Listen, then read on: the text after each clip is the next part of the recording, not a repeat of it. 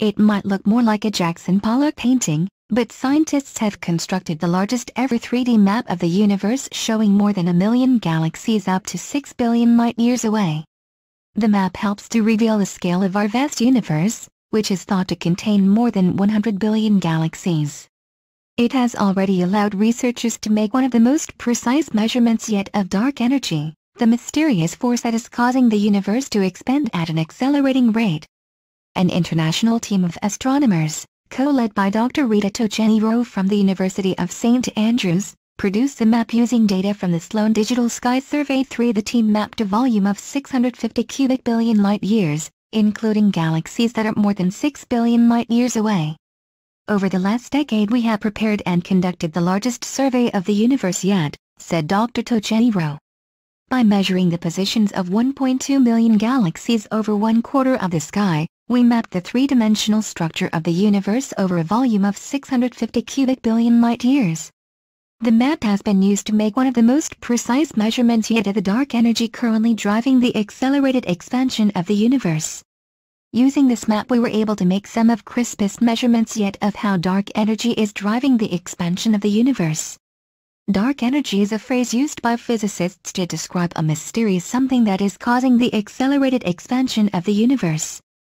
Dark matter is thought to be the gravitational glue that holds the galaxies together, since just 5% of the universe is made of known materials such as atoms and subatomic particles shaped by a continuous tug-of-war between dark matter and dark energy. The map allows astronomers to measure the expansion rate of the universe and thus determine the amount of matter and dark energy that make up the present-day universe. Hundreds of scientists from the Sloan Digital Sky Survey 3 collaborated to make the map. A collection of papers describing these results was submitted this week to the monthly notices of the Royal Astronomical Society.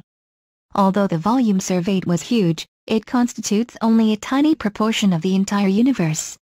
If we were to scale the volume of our survey to a cube 1 mile on each side, then the visible part of an individual galaxy would be about 1 millimeter across, Dr. Tojeiro said.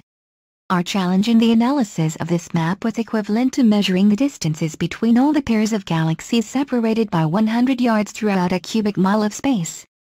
Dr. Florian Beutler from the University of Portsmouth, who led two of the papers submitted this week, said, if dark energy has been driving the expansion of the universe over that time, our map tells us that it is evolving very slowly if at all. The change is at most 20% over the past 7 billion years.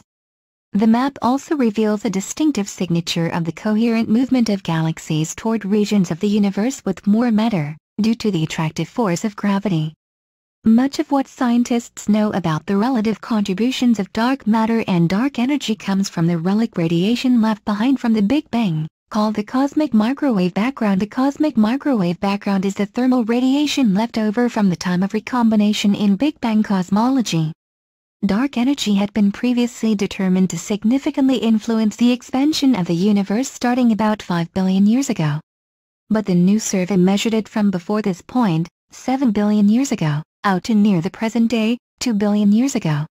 We see a dramatic connection between the sound wave imprint seen in the cosmic microwave background 400,000 years after the Big Bang to the clustering of galaxies 7 to 12 billion years later, said Dr. Tojeiro The ability to observe a single well-modeled physical effect from recombination until today is a great boon for cosmology.